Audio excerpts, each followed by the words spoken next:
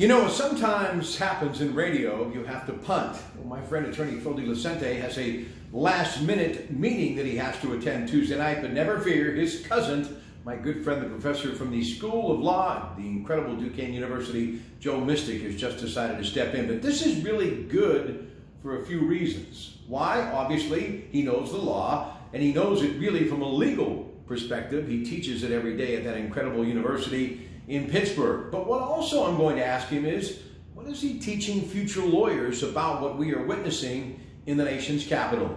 He is professor of law, Duquesne University. Joe Mistick, also columnist for that great brand that is the Tribune Review, and he's in the air chair with me Tuesday night, 6.30, in for Robert Mangino, Rob Pratte, KDKA Radio. Have a great day, everybody, and enjoy the rest of your week, and have a super weekend.